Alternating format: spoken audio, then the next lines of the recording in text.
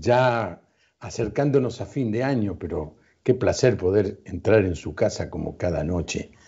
Y nos quedan pocos programas hasta, hasta que lleguemos a la Navidad y bueno, nos tomemos un tiempo de descanso. Eh, la verdad que fue un año muy raro, muy extraño, y no sabemos bien cómo va a ser esto de tomarnos descanso de un año de descanso, de, de cuarentena. Eh, le voy a preguntar a alguien que esté en otra parte del mundo cómo fueron el verano allí en medio de la cuarentena, este, porque tenemos que aprender. Estamos mirando tanto lo que pasa en Europa, la segunda ola y todo lo demás, que al acercarnos a, esta temporada no sabemos bien cómo es, cómo vamos a celebrar las fiestas, cómo, cómo nos vamos a reencontrar con nuestros seres queridos, si nos vamos a dar un beso, nos vamos a dar un abrazo, qué sé yo, estamos muy, muy llenos de incertidumbre, pero bueno, ahí vamos, vamos aprendiendo día a día. El próximo domingo a las diez y media de la mañana, hora argentina, eh, vamos a tener eh, por primera vez la transmisión del encuentro de la Iglesia de la Puerta Abierta a través de nuestro streaming www.lapuertaabierta.org. ¿eh? Y voy a dar un mensaje sobre María, la Madre del Señor Jesús.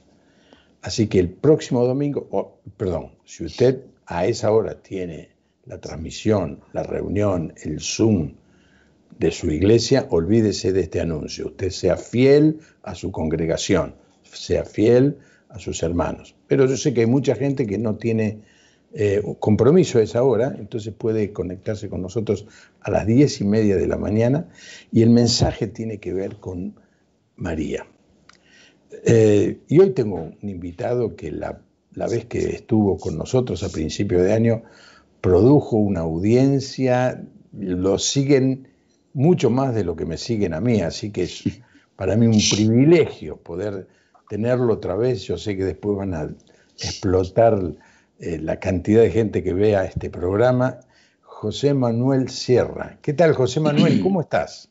Hermano querido, bendiciones. Es un placer para mí el poder volver a estar con, usted desde tan lejos y al mismo tiempo desde tan cerca. Es un placer, de verdad, y no esperaba que usted me volviera a llamar otra vez en este año. Bueno, eh, ha sido muy bueno la repercusión que tuvo el, programa de la otra vez, eh, José Manuel. Eh, y entonces, digo, bueno, vamos a aprovechar la, audiencia, la fama, este, la trascendencia de José Manuel para crecer un poco nosotros. José Manuel, ¿cómo es que la gente te sigue tanto? ¿Por qué crees que tenés tantos seguidores? No lo sé. No lo sé por qué me sigue. No, tengo ni la más remota idea. Lo, único que sí sé es que la gracia de Dios es real. Y Dios honra a los que le honran. Y nosotros llevamos muchos años, muchos años trabajando en las redes sociales, cuando apenas teníamos un puñado muy pequeñito de, de hermanos, de seguidores. Y yo creo que el Señor, utilizando muchos factores como se han dado en este año, nos ha honrado, nos ha bendecido, pero no tengo las claves, no, no, no puedo escribir un libro ni dar una charla, una conferencia sobre el secreto del crecimiento, porque es un misterio. El crecimiento quien lo da es Dios, no el hombre. Sí. Así es que habría que preguntarle al Señor el por qué. Eh, eh, dicen que la audiencia se renueva. Contanos dónde estás, dónde vivís, dónde, dónde realizas tu trabajo. Bueno, la base de nuestro trabajo, de nuestro ministerio, está en las Islas Canarias. Las Islas Canarias son un archipiélago formado por siete islas, divididas a su vez en dos provincias. La provincia de Las Palmas de Gran Canaria, formada por cuatro islas, perdón, por tres islas, y la provincia de Santa Cruz de Tenerife, formada por cuatro islas. Estamos como a unos 1.500, 2.000 kilómetros del continente europeo, de España, y a escasos 100, 120 kilómetros del continente africano. Pero son islas que siempre, de toda la vida, han pertenecido, digamos, a, España, a la corona española antaño. Y aquí estamos eh, emitiendo nuestros programas, nuestro canal de Facebook, nuestro canal de YouTube. Y bueno, realmente sorprendidos porque hemos tenido que explicar muchas veces dónde, dónde se encuentran estas pequeñas islas, de las mm. cuales salió Cristóbal Colón hace muchos siglos, y ahora aquí nuevamente saliendo bendición para muchas partes del mundo, para la gloria de Dios. Sí, vos sabés que eh, hubo alguien que hizo el cruce del Atlántico en una balsa. Yo le hice un reportaje, eh, me va a costar ahora acordarme el nombre, él, es de la ciudad de Dolores, eh, y la balsa eh, estaba en algún lugar de, Mar de Plata y salió de las Canarias, siguiendo una corriente de agua que atraviesa todo el Atlántico y después de unos cuantos días, creo que meses, llegó eh, al puerto de en Venezuela. No sé si conoces la historia. Sí, hermano, eh, ha habido varias, varias personas, incluso una persona en dos ocasiones lo hizo dentro de un barril, de un barril, de un tonel. Eh, le dio la vuelta, puso una pequeña vela, porque hay una época en el año en el que soplan unos vientos muy famosos que los marineros los conocen muy bien, que se llaman los vientos alisios, un viento nordeste que eh, llega directamente, si usted abre la vela, llega directamente a América. Probablemente son los vientos que utilizó Cristóbal Colón, aunque fue en otra época del año, pero entre los vientos alisios y la corriente, eh, bueno, la gente llega a su continente. Y le comento más, mi abuelo, que murió con 106 años, cruzó el Atlántico rumbo a Venezuela en un barco de vela cuando los emigrantes de españoles iban a hacer las Américas. Estuvo en Argentina, estuvo en Cuba, estuvo en Venezuela y los barcos veleros salían de las Islas Canarias rumbo a América. Bueno, no sé, yo no me animaría a esta altura. No, pero eso, lo, del barril es increíble, ¿no? Porque eh, este, esta balsa creo que se llamaba el Atlantic, este, era una balsa con, lo que había de aquella época, ¿no? Sí, sí, sí, este, Hoy, hoy con GPS, eh, teléfono satelital no sería tan difícil o tan, tan costoso, pero, eh, pero sin motor, eso sí, sin motor y, ahí siguiendo el viento y, la corriente de agua, ¿no? Bueno, eh, Barragán, Barragán, eso es, exacto. Atlantis y se llama Barragán, ahora me acuerdo, sí. Eh, José Manuel, eh, ¿no hubo nunca allí comunidades este, originarias eh, en las islas de Canarias? ¿Se refiere usted a población indígena? Sí, sí. Sí, hay, una, hay muchas leyendas y muchas tradiciones y algunos vestigios y momias de unos habitantes originales de estas islas que se conocían con el nombre de los guanches. Eran personas de muy alta, de, mucha envergadura, rubios, de ojos azules. Es todo un misterio porque no se sabe si esta gente fueron náufragos, si eran de origen vikingo, si eran marineros que fueron dejados, abandonados por cualquier cuestión de enfermedad, pero no quedó ningún rastro, no, no hay gente viva eh, ¿verdad?, descendientes, porque cuando llegaron los españoles, a muchos de estos indígenas los mataron y otros muchos, antes de caer esclavos o antes de, ser prisioneros, se arrojaban desde lo alto de los montes y preferían mm, suicidarse. Así que el nombre era el de los guanches, pero ya le digo, no hay absolutamente ningún vestigio de estas, de estas personas, los primeros pobladores de las Islas Canarias. Mm.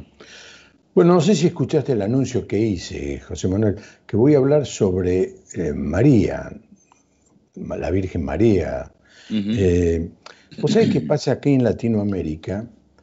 Que la gente entre pedirle a Jesús y pedirle a María eh, ha sido enseñada, ha sido motivada a pedirle a María, porque Jesús está crucificado, es una figura que produce lástima en esos crucifijos.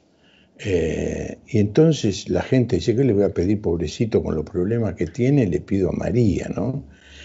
Eh, y, bueno, nosotros sabemos que esto no es algo que esté permitido en la palabra de Dios, eh, pero vos que estás en un país de Europa, con una fuerte presencia católica. ¿Qué pensás de esto, de que yo hable de María? ¿Qué, consejo me das? Bueno, hermano, eh, yo le digo algo. Eh, María es un personaje extraordinario. Absolutamente. De verdad que como personaje bíblico realmente fue una mujer extraordinaria y yo creo que cualquier mujer verdaderamente cristiana, su, su objetivo sería de alguna manera emular al ejemplo, a la espiritualidad, a la santidad, a la entrega absoluta a la voluntad de Dios que esta mujer tuvo. Estamos hablando de una joven, no estamos hablando de una señora de 40, 50, 60 años, estamos hablando de una jovencita en una pequeña población que he tenido muchas veces el honor de visitarla, Bethlehem, la Casa del Pan, una mujer que vivía en una sociedad muy conservadora, nada promiscua como la nuestra, y cuando el ángel Gabriel se le presenta y le da el anuncio impresionante de que va a ser la madre nada más y nada menos que del Mesías, y ella pregunta, ¿cómo será esto? Pues no conozco varón, y, y le dice el Señor a través del ángel Gabriel que el Espíritu Santo vendría sobre ella y sería cubierta con el poder del Altísimo, ella dijo, hágase en mí conforme a la voluntad de Dios. Es decir, mm. ahora tú vete a tu familia en aquellos tiempos, en aquella generación, y explícale que el niño que llevas en tu vientre no es una relación ilícita que has mantenido ni con José ni con ningún otro hombre de tu época. Nadie la iba a creer. Hasta el día de hoy, María es un personaje muy criticado, muy cuestionado en el Talmud judío. Incluso se dicen auténticas barbaridades sobre aquel supuesto embarazo por obra y gracia del Espíritu Santo.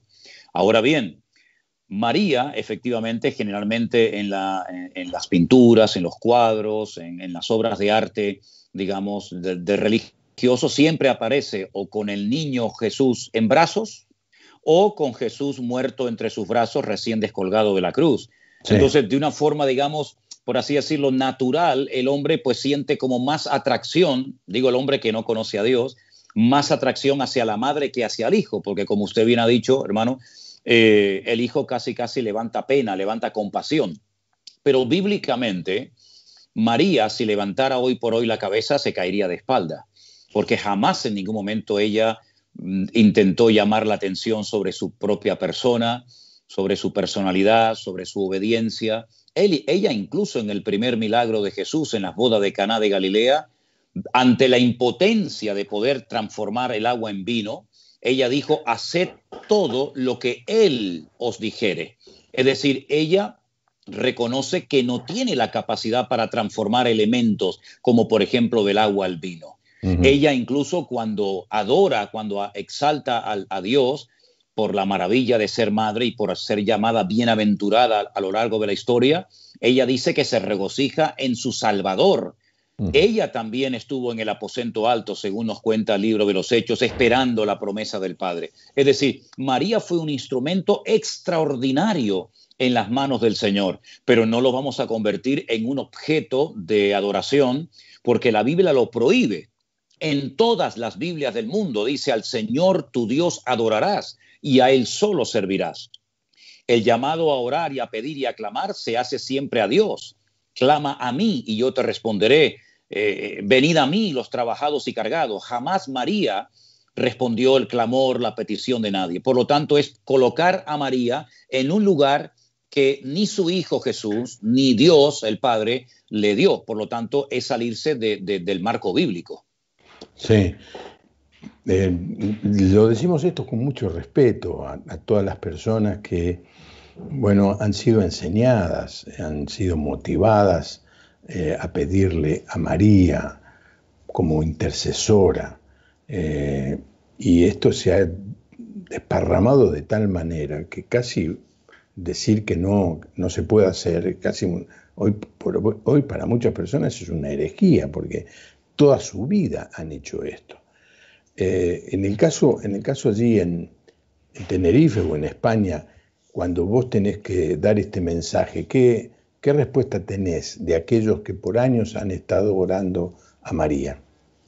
Bueno, en España siempre a, los cristianos evangélicos se nos, ha, se nos ha acusado de que no creemos en la Virgen. Sí. Y es todo lo contrario. Yo creo que nosotros creemos, podemos decir que creemos 100% en la, en, la Virgen, creemos en, en, María, ¿no? Repito, fue un instrumento maravilloso en las manos del Señor, pero no adoramos al instrumento, sino adoramos al Hijo que ella parió y que se convirtió en nuestro Señor y en nuestro Salvador. Ahora bien, en este tiempo de confinamiento, donde hemos estado prácticamente cada día eh, enseñando la palabra de Dios y, e invitando a la gente a que leyera la Biblia, Pastor, no se puede usted imaginar la cantidad de gente de todas partes del mundo, católicos practicantes, que al ponerse en contacto con la palabra de Dios, al estudiar la Biblia, literalmente nos han dicho, se me han caído las vendas de los ojos. Y mm. muchos han llegado al convencimiento de que el camino, la verdad y la vida y el único mediador entre Dios y los hombres es nuestro Señor Jesucristo, porque hay una gran ventaja entre los católicos y digamos nosotros los cristianos evangélicos, y es que todos leemos la Biblia, todos aceptamos la Biblia como la palabra de Dios. Y si vamos a la fuente, a la palabra de Dios, tanto el católico como el evangélico, como cualquier persona, tiene que reconocer que la Biblia es la verdad y que no dice ninguna falsedad.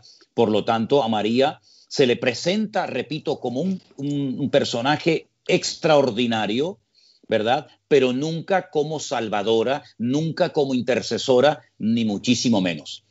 Estas conversaciones las hemos lógicamente mantenido durante años con mucha gente católica y el que quiera aprender y el que quiere realmente agradar a Dios termina dándose cuenta de que efectivamente no es cuestión de ganar una conversación, sino es cuestión de obedecer a Dios en su palabra. Vos sabés, eh, José Manuel, que mi hija estuvo en, Asia durante casi 20 años traduciendo la Biblia y en, un contexto en donde la Iglesia Católica participaba eh, del proyecto.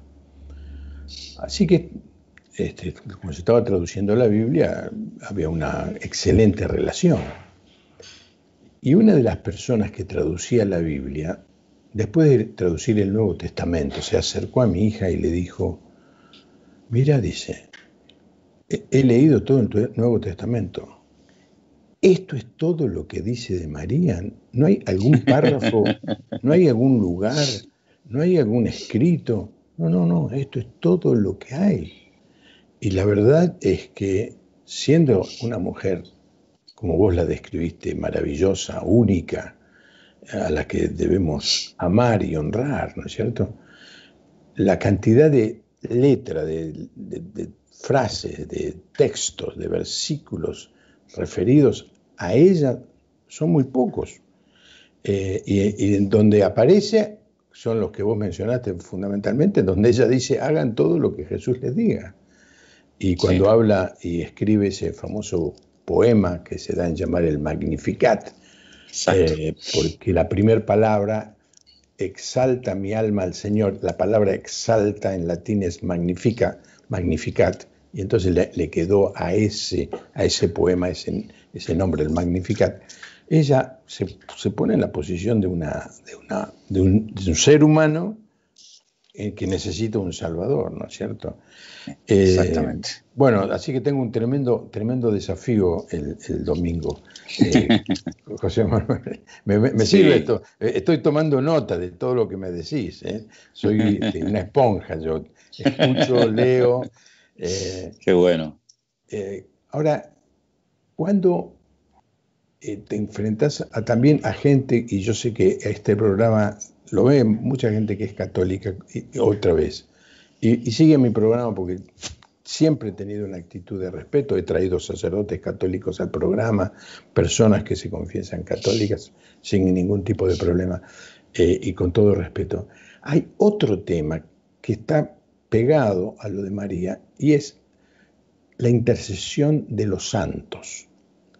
Y otro tema que está al lado de este, y es que personas que han muerto, un familiar, tu papá, terminan, dice, están en el cielo y les podemos pedir a ellos que intercedan por nosotros.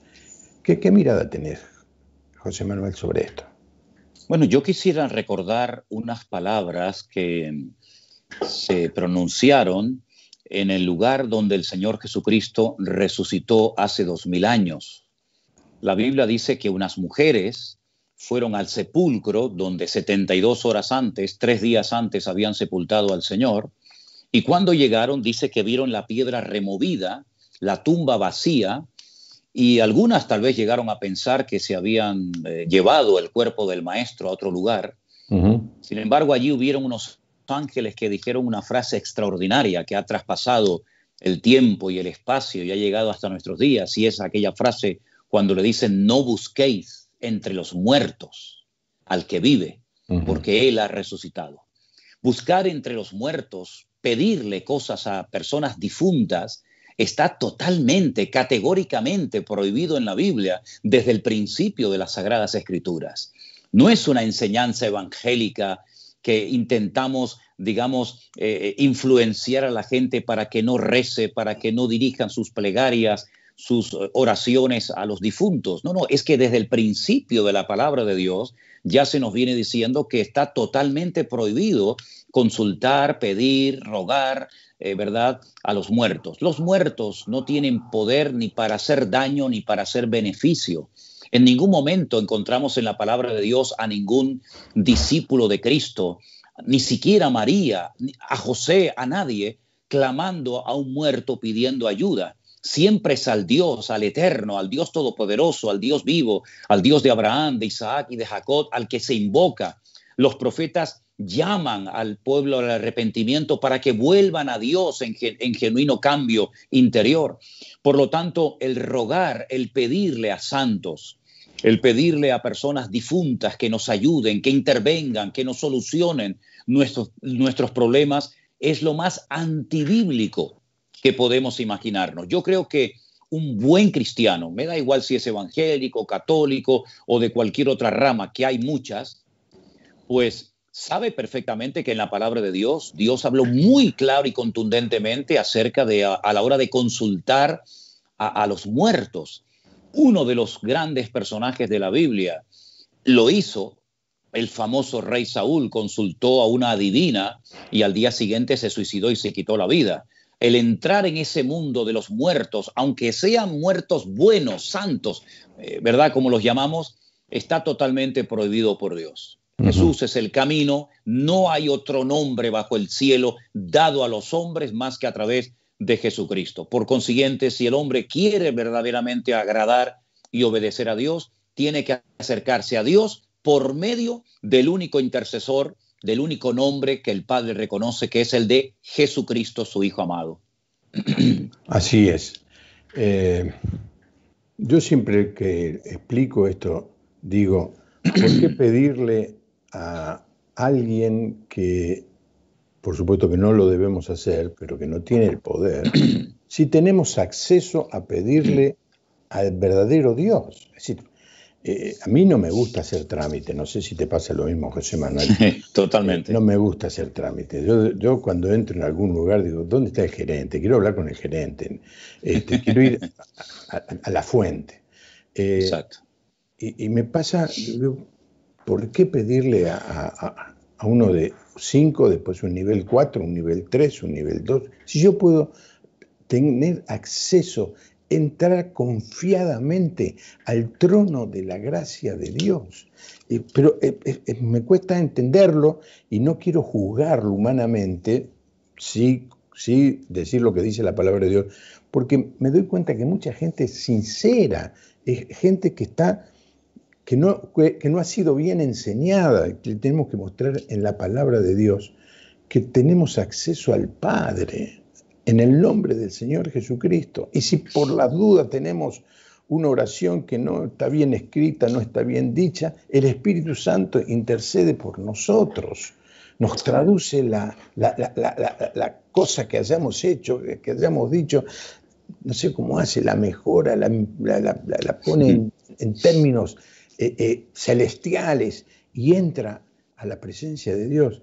Eh, qué, tremendo privilegio que, tenemos, ¿no?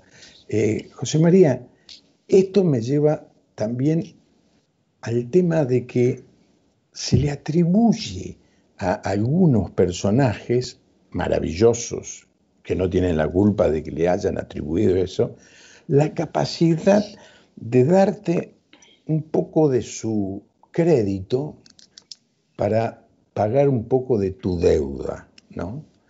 Eh, eh, ¿Funciona esto? ¿Funciona así? ¿Sabe lo que pasa, hermano? Que uno puede estar sinceramente equivocado. La sinceridad nos puede llevar a la ruina. La sinceridad no es el camino correcto. Yo no estoy diciendo que no sea bueno ser sincero, no estoy diciendo eso. Lo que pasa es que el camino no es la sinceridad, mm. porque puede ser una sinceridad equivocada.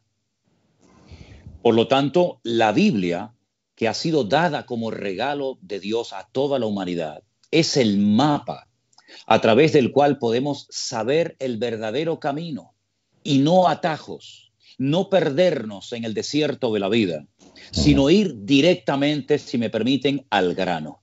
Dios no necesita intercesores. Dios no necesita intermediarios.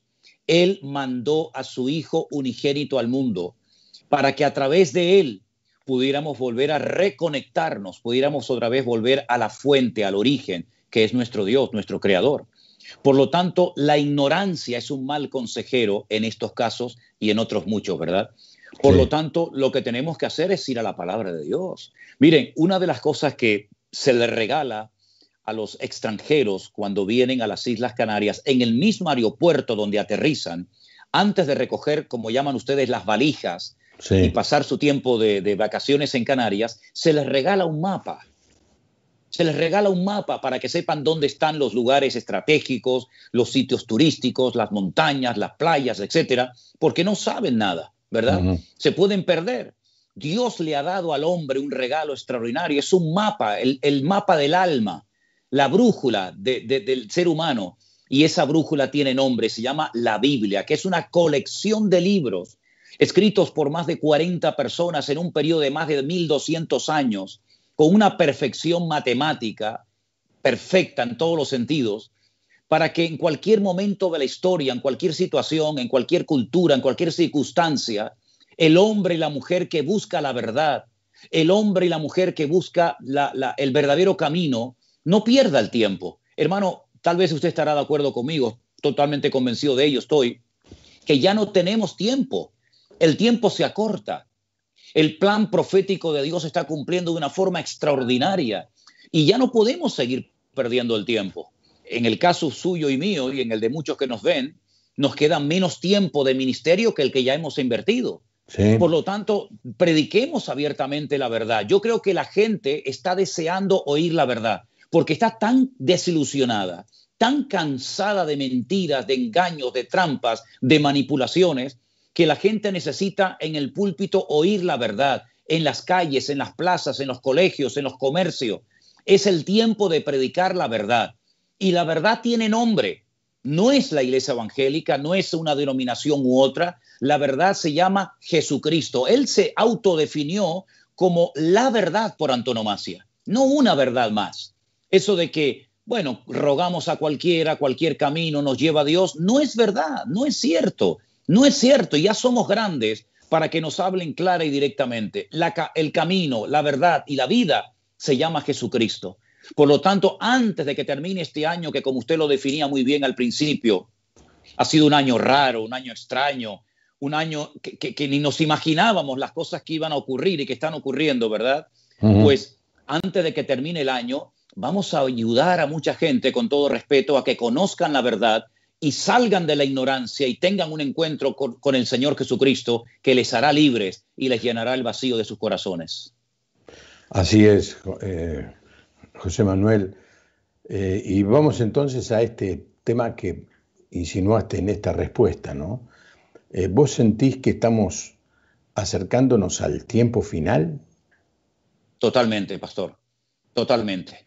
Yo creo que no me equivoco en lo que voy a decir ahora en este momento somos la generación más cerca de los acontecimientos finales, incluida la segunda venida del Señor Jesucristo a este mundo, que ninguna otra generación de creyentes. Yo no sé cuánto tiempo le queda al mundo porque no soy profeta ni hijo de profeta, pero sí soy un asiduo lector y estudiante de la palabra de Dios. Y por lo que está sucediendo, no nos sorprende porque la palabra de Dios es muy clara. Estamos sin lugar a dudas en el inicio, en la recta final de los últimos tiempos. Cosas tremendas que ni siquiera nos imaginábamos que veríamos en nuestro ministerio, vamos a comenzar a verlas, porque la palabra de Dios es viva y es eficaz y todo está saliendo según el diseño divino. Y creo que la iglesia tiene que despertar a la realidad de que hay que predicar el Evangelio como nunca antes, me da igual, por radio, televisión, redes sociales, de boca a boca, contratados, como sea, pero no podemos perder ni un minuto más porque quedan millones, millones de almas por alcanzar para Cristo. Decís que hay cosas, circunstancias, hechos, eventos que nos muestran que el Señor está cerca. A ver, ¿me puedes dar una idea de esos eventos, de esas señales? Sí, mire, por ejemplo, eh, podríamos, podríamos hablar de muchas señales. Una de las señales más grandes de la historia de nuestro tiempo fue sin lugar a dudas el retorno del pueblo de Israel a su tierra. Desde el año 70 después de Cristo, ese pueblo quedó esparcido por todas las naciones de la tierra, en una gran dispersión, en una gran diáspora, el galut, como ellos lo llaman. En 1948, algo que asombró al mundo entero se produjo en un día se levantó una nación como aves fénix y comenzó a levantarse una nación que hasta el día de hoy, con un montón de guerras que han experimentado, ahí está. Esa era una señal profética. El profeta Ezequiel y otros hablaban acerca del retorno del el pueblo de Israel a su tierra de origen, a la tierra de sus padres, Abraham, Isaac y Jacob, la recuperación de la ciudad de Jerusalén como ciudad principal del Estado de Israel, tenemos, hermanos, también hoy en día la capacidad de poder llevar el Evangelio en tiempo real a miles y a millones de personas. La Biblia dice que todo el mundo tendría una oportunidad, el Evangelio sería predicado hasta lo último de la tierra. Hoy me escribía una, hermana, una familia de la isla de Chiloé, al sur de Chile, si no recuerdo mal, desde Ushuaia, desde muchísimos puntos de la tierra. Eso era algo impensable en la época del apóstol Pablo, en la Edad Media, hace años atrás era impensable que en este momento estuviéramos manteniendo una conversación en tiempo real desde el continente latinoamericano, Argentina, con una isla ahí perdida eh, cerca del continente africano. Es decir, se han, se han ah, estrechado las fronteras. Hoy en día todo mucho más fácil, todo es mucho más rápido. Y aparte de todo eso, mis queridos hermanos, estamos viendo cómo el mundo va en una encrucijada lo que dijo el Señor Jesucristo, guerras y rumores de guerras, el enfriamiento por parte de muchos, el aumento de la maldad, etcétera, etcétera. Todo apunta en una misma dirección. Cristo viene pronto. Y así como vino una primera vez, fuera de toda probabilidad humana, pero se cumplieron más de 150 profecías. Con su primera venida, la segunda venida de Cristo es inminente. Y yo quiero formar parte de ese evento trascendental que volverá a cambiar el rumbo de la historia de la humanidad cuando Él venga en las nubes y todo ojo le verá y toda rodilla se doblará y confesará que Él es el Señor para gloria de Dios Padre. Los tiempos se acortan. Ven pronto, Señor Jesús, decía Juan en la isla de Patmos, y nosotros nos unimos a ese clamor. Una de las cosas que se mencionan en la palabra de Dios es que iba a haber una gran persecución en el último tiempo. ¿Vos qué pensás de eso? ¿Está sucediendo en el día de hoy? Sí, hermano, hay miles de hermanos en este momento que están siendo perseguidos. Hace unos días recibimos del Ministerio Puertas Abiertas el último informe mundial del estado de la iglesia en muchas naciones del mundo y hay miles y miles de hermanos que no pueden llevar una Biblia debajo del brazo, que no pueden eh, congregarse en una iglesia, que están siendo perseguidos, torturados, masacrados. ¿Cómo no? Tal vez no es nuestra realidad en este momento, pero muchos hermanos conocieron a Cristo durante la persecución, siguen viviendo durante persecución y probablemente mueran sin conocer ni un solo día de calma y de tranquilidad. Pero curiosamente son los países donde más eh, hoy por hoy está creciendo el Evangelio. Tenemos informes de pastores que nos están diciendo, no se pueden ustedes imaginar los miles y miles de personas que en muchos continentes aparentemente cerrados al Evangelio no paran de convertirse a Cristo. Sí, es así. Eh, ¿Sabes por qué te pregunto? No porque no lo supiera, sino porque algunas personas leen el texto y dice, Bueno, va a haber persecución, pero acá no, estamos fenómenos, no fenómenos, no sé si entendés esa eh, palabra. estamos bien. No, ah. nosotros somos una minoría. Nosotros mm. somos, eh, yo, yo, pienso que si el Señor viene y mira a su iglesia, eh, a nosotros que, estamos haciendo una vida fácil, tipo Disneylandia, ¿no? yo creo que el Señor está teniendo una mirada de compasión, de amor, y de, admiración, si se puede, por esos hermanos nuestros que hoy están en la cárcel por, la fe, que no pueden leer la Biblia, en algunos casos que copian la Biblia a mano para mm. poder, este, para poder eh, tener idea de, la lectura, de conocer el texto bíblico. Hoy está bien, hoy nunca, nunca en la historia de la humanidad la iglesia ha sido tan perseguida, nunca ha habido tantos mártires como en, como en el día de hoy. Tenemos que despertar a eso. Y eso es una señal clarísima de que estamos cerca de la venida del Señor. Eh, dijiste hace un rato que debe, ser predicado el Evangelio a todo el reino, ¿no? Vos que estuve visitando en el año, a ver, ¿cuándo fue? En el 2017, eh, visitando la ciudad de Beirut. Mi intención era ir a Damasco, pero como no tenía visa no pude entrar. Eh, y estando en, una librería cristiana allí en el centro de la ciudad de Beirut, un, chico joven eh, pasó por la librería y vio que decía, yo soy la puerta. Y sintió el de entrar. Y entró y preguntó, y claro, ahí están todos preparados para dar testimonio de la fe, ¿no? Y este chico vivía y trabajaba en La Meca, en uno de los hoteles allí muy cerca de ese, lugar tan sagrado, sagrado para los musulmanes. Y tenía un conocimiento de las historias bíblicas. ¿Por qué? Porque utilizando su celular escuchaba mensajes de, cristianos, mensajes evangelísticos. A a mí no se me ocurre que alguien que está en ese mundo, en ese contexto de, tanta, de tanto fervor, de, no digo fanatismo porque sería peyorativo, pero sí de una tremenda devoción alrededor de, este lugar sagrado de los musulmanes. Sin embargo, en ese lugar llegaba la palabra de Dios. Bueno, eh, para terminar la historia, creo que alguna vez la conté, este chico aceptó al Señor, eh, pero cuando volvió se lo contó a la madre y a partir de ese momento no no se tuvo más noticias de él. Yo siempre oro por él. Le, como tenía un nombre raro, le puse Pedro.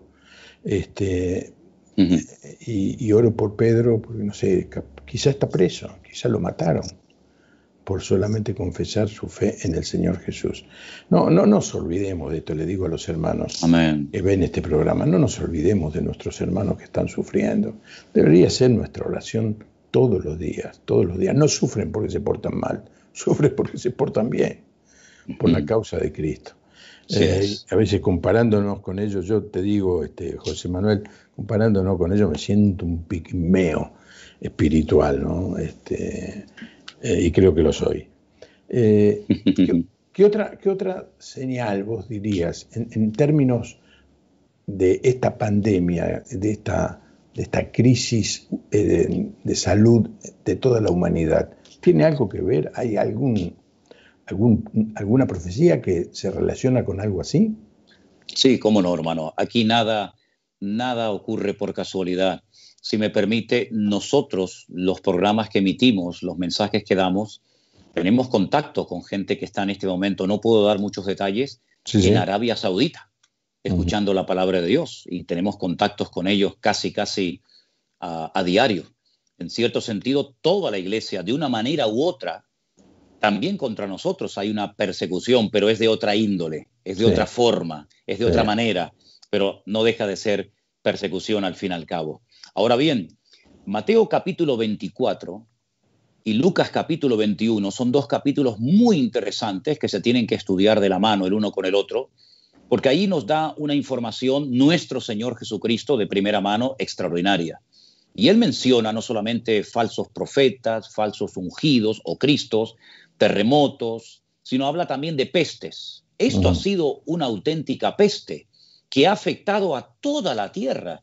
No es algo que miramos de lejos y decimos, bueno, pobrecitos hermanos en África o en América o en Europa. Esto es algo que nos ha afectado absolutamente a todos, creyentes y no creyentes, hombres, mm. mujeres, blancos, negros, ricos, pobres.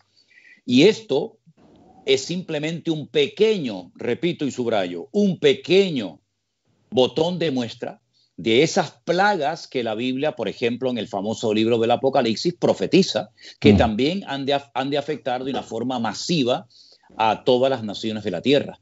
Por lo tanto, esto es una forma a través de la cual Dios le está diciendo a la humanidad, esto que ha ocurrido en pequeña escala, a pesar de, los niveles tremendos de contagio y de muertos alrededor de la Tierra, esto es un pequeño botón de muestra de cosas aún peores que la Biblia pronostica y profetiza de cara al futuro.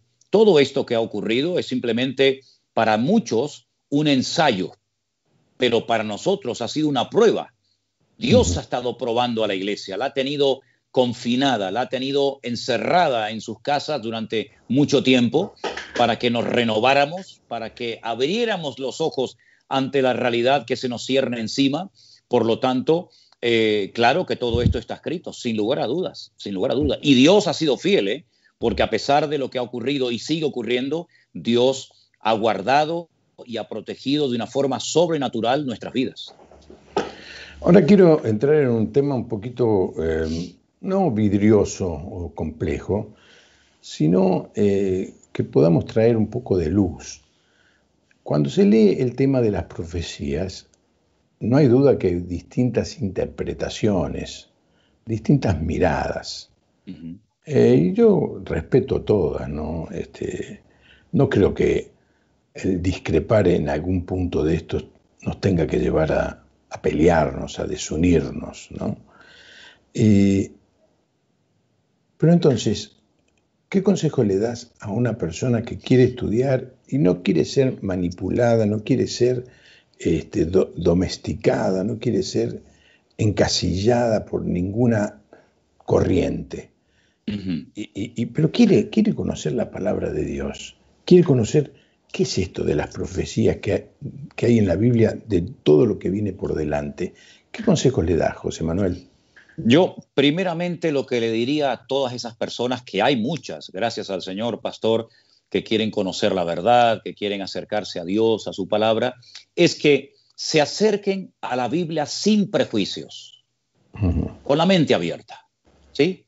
Porque los prejuicios ya nos condicionan y a veces por un prejuicio a priori podemos perdernos una, una, una enseñanza, podemos perdernos algo muy interesante que está ahí oculto en la Biblia, ¿no? Por lo tanto, dejemos aparcados, dejemos a un lado, dejemos a un costado nuestros prejuicios.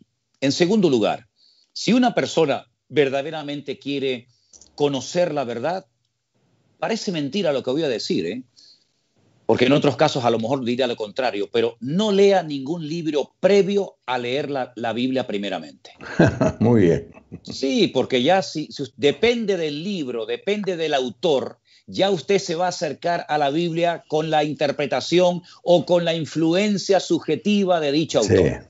Así que primero la Biblia. Lea la palabra de Dios, tome nota, busque en un diccionario las palabras que no entiende, vaya a un libro, vaya a otro, vaya para adelante, vaya para detrás y al final, al final si quiere consultar algún buen diccionario bíblico, algún comentario, pero como algo secundario, pero no como algo prioritario. De lo contrario, ya usted va a ir condicionado a la lectura de la palabra. Y la Biblia tiene un principio excelente que funciona cuando uno lo quiere aplicar y es que la Biblia se interpreta a sí mismo. Lo que usted no entiende en Daniel, se va al, Apocalipsis de Juan y lo entiende. Lo que no entiende en Apocalipsis, lo entiende en las cartas de Pablo a los tesalonicenses y así sucesivamente. Un libro le va a llevar a otro libro y entonces sin prejuicios, sin una preparación, si me permiten, previa, sin lectura de libros antes de leer la Biblia, yo creo que la persona va a disfrutar y se va a acercar con una mente abierta, con una mente limpia y sobre todo, sobre todo algo muy importante. Ore, pídale al Espíritu Santo, al Señor que a través de su Santo Espíritu le ilumine le abra el entendimiento, porque la Biblia no se escribió para confundir, la Biblia se escribió para aclarar. Y si usted le pide a Dios que le dé claridad y luz, el Señor se la dará y usted podrá entender los misterios ocultos que están en la palabra de Dios y que fueron escritos y revelados para darnos luz y guía en estos tiempos finales en los que estamos viviendo. A veces me encuentro con personas que dicen, pero es muy difícil ese tema. Yo, yo prefiero eh, quedarme con los salmos, las parábolas, esas las entiendo. Eh, primero, no, no es difícil, no, tampoco voy a decir que es fácil y que uno lo lee y le entiende todo. Hay un poco de pereza también en muchas personas. Y entonces, lo que se ha, se ha puesto de moda, no sé, por lo menos aquí, no sé, allí en, las, en las, islas, le preguntamos al pastor. Ah, el pastor sabe todo. Mm. lo que diga el pastor está bien. ¿Y vos qué opinás de eso? Bueno, eso me pasa a mí continuamente, hermano. Yo me he encontrado a lo largo de mi vida con mucha gente que me dice, mira, Manolo, a ti te gusta estudiar, te gusta profundizar, tú lo estudias y después me lo explicas a mí, que a mí no me gusta mucho leer, ni estudiar, ni indagar. Bueno, eso, eso no es bueno. Eso no es bueno porque mientras el que enseñe, mientras el exponente de la palabra enseñe la verdad y haga las cosas decentemente y con orden, vamos a decir entre comillas, tenemos la garantía de estar comiendo sana doctrina. Pero no es la primera ni la última vez, lamentablemente, hay que decirlo, que una persona que empezó bien, después se torció y la influencia negativa sobre la gente puede ser desastrosa. Por lo tanto, yo animo a que todo el mundo lea directamente la palabra. Eso no quita que consultemos, que preguntemos a los pastores, a los maestros, a los siervos de Dios, pero todo creyente tiene que depender única y exclusivamente de su alimento espiritual, de su Padre, de su Pastor del Celestial, que es nuestro Señor Jesucristo. Por lo tanto, claro que hay cosas de la Biblia que son complicadas y difíciles, pero Pastor, como también hay salmos, como también hay parábolas, como también hay palabras de Cristo en los evangelios que son difíciles. No solamente cuestiones de escatología, hay muchas cosas más difíciles que la escatología y todavía estamos peleando por entenderla, ¿no? Así es que la Biblia es una maravilla, yo les animo a que la lean y ya verán cómo el Espíritu Santo les va a dar luz y les va a abrir el entendimiento. Y no importa la edad que tenga, porque hay gente que dice, yo ya soy muy grande, yo ya soy muy mayor, pero hay que crear, hay que desarrollar el hábito a temprana edad de estudiar la palabra de Dios. Instruye al niño en su camino, dice la palabra, ¿no? Por lo tanto, no hay edad. Y creo que en estos tiempos, más que nunca, la Biblia tiene que ser nuestro fiel compañero de viajes, porque no cabe la menor duda de que en los últimos tiempos, otra señal más, pastor, se amontonarán maestros conforme a sus propias concupiscencias y algunos se apartarán de la verdad ¿verdad? Y dice que algunos incluso hasta escucharán a espíritus engañadores que por tener la conciencia cauterizada, ¿verdad?, se apartarán de la verdad.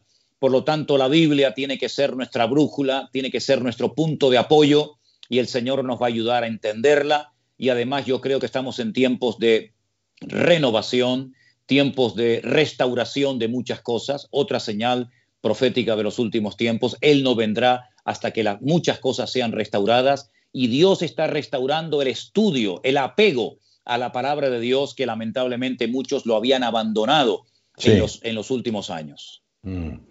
Me, hace acordar a un vecino que yo tenía, eh, muy humilde el hombre, eh, un santo, un hombre, un santo. Eh, era zapatero, italiano, inmigrante, no había podido estudiar más que el primario. Ni siquiera hablaba bien, bien el español, pero él siempre estaba leyendo la palabra de Dios. Y alguna vez vino algún predicador a dar mensajes y él con su humildad se acercaba y no, no es que le, discutía, sino que le aportaba, ¿no? Eh, y uno de, estos predicadores, que era mucho más joven, con el cual yo tenía más acceso, me dice, che, este hombre sabe un montón. me, mostró dos o tres cosas que yo no las dije claramente. Y entonces me viene a la mente un texto del Salmo 19 que la palabra de Dios hace sabio al sencillo. Amén. Y yo le quiero decir a alguna persona que está escuchando el programa, bueno, yo apenas leo, yo no tengo estudios, yo este, no fui a un seminario, yo no tuve la oportunidad de, leer muchos libros. Olvídese, no ponga esa excusa. La palabra de Dios hace sabio al sencillo. Y esto es lo que estamos tratando de motivar con José Manuel, ¿no? Porque casi parece que él empieza a hablar y dice lo que yo estoy pensando. Hay que animar a las personas, a los hermanos, a leer la palabra de Dios. Amén.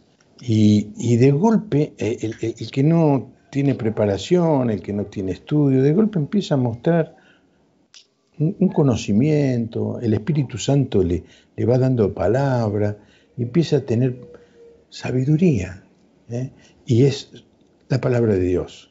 Amén. Que hace que el que que, la lea, que la medite de día y de noche, es como un árbol plantado junto a corrientes de agua que da su fruto a su tiempo, su hoja no cae. Escuche esto, y todo lo que hace prosperará. Amén. Eh, José Manuel, para, ir terminando esta entrevista, eh, ¿tenés algún, algún canal que la gente pueda, eh, pueda acceder? ¿Cómo hace la gente para seguirte? Los que, escúchame, vos tenés más audiencia que yo, así que yo quiero, quiero agregar a tu audiencia los que me siguen a mí, pero que no te conocían antes. ¿Cómo hacen? No, mire, hermano, yo, yo, yo le agradezco la, la, la, publicidad, si me permite la expresión que usted me está haciendo, pero yo no busco seguidores. Mm. Hay que seguir a Cristo, ¿verdad? yo simplemente soy una persona que uso en el buen sentido de la palabra y con toda la mejor intención del mundo, a esos seguidores, a esas personas que te, que te oyen y te ven cada día para llevarlos al conocimiento del Señor. Porque usted ha dicho un versículo muy lindo del Salmo 19, dice que el Señor dice que hace sabio al sencillo, pero dice también que convierte el alma, ¿verdad? Dice que alumbra los ojos y alegra el corazón.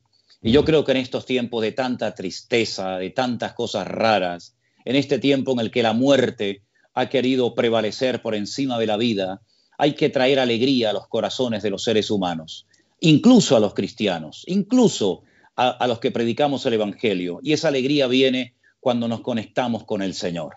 Ahora bien, nosotros tenemos solamente dos canales, aunque últimamente están tratando de hacer clones de nuestros canales por todas partes para sacar, para sacar guita, como dicen ustedes por ah, allá, por Argentina. No, es tremendo, es tremendo. Sí, es terrible, terrible. Gente que usa mi nombre, el nombre de nuestro ministerio y después piden dinero para proyectos que jamás en la vida nosotros hemos ni siquiera pensado en hacer, pero oficialmente tenemos dos canales, pastor.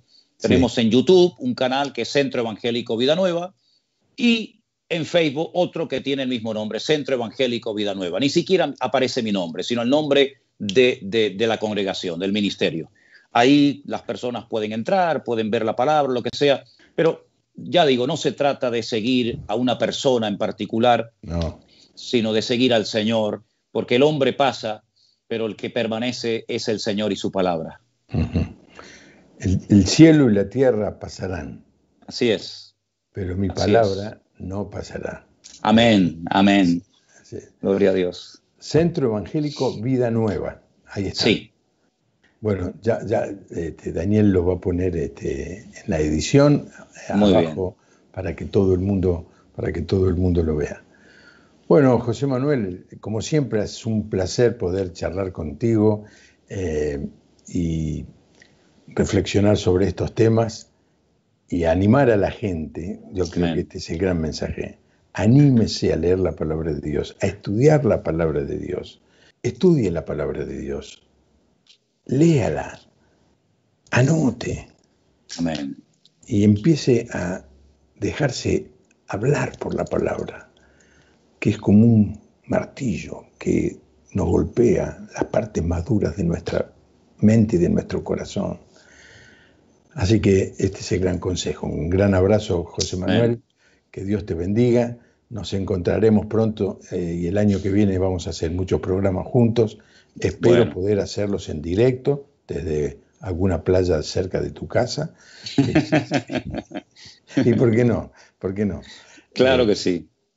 Bueno, un abrazo, un abrazo. Le vuelvo a Hermano, un placer, de verdad le agradezco y quiero decirle que desde la última vez que lo vi, no sé lo que ha sucedido, pero usted ha rejuvenecido, lo veo mejor que nunca. Créame, no, lo digo de corazón, ¿eh? no soy de pasarle la mano a nadie, pero lo veo rejuvenecido. Créame que cuando lo vi antes de entrar en directo o antes de grabar el programa, yo dije, pero parece, no sé si es otro hermano, si es el mismo, no sé si es el peinado, la camisa, lo veo rejuvenecido y además hemos estado hablando de un tema que interiormente nos rejuvenece más y es el de la palabra de Dios. Así, que hasta para el espíritu, el alma y el cuerpo, el estudio de la palabra es extraordinario. Pastor, un abrazo, gracias por contar conmigo, aquí me tiene a su entera disposición. Dios le bendiga. Gracias, José Manuel. Bueno, y otra vez le quiero repetir que el próximo domingo a las 19 y 30, eh, perdón, no, no, no, no, olvídese, a las 10 y 30, a la mañana, otra vez. El próximo domingo a las 10 y media, allí está la puertaabierta.org, la transmisión de la Iglesia de la Puerta Abierta, donde voy a hablar sobre María, la Madre del Señor Jesús. Que tenga un muy, muy buen fin de semana. Que Dios le bendiga.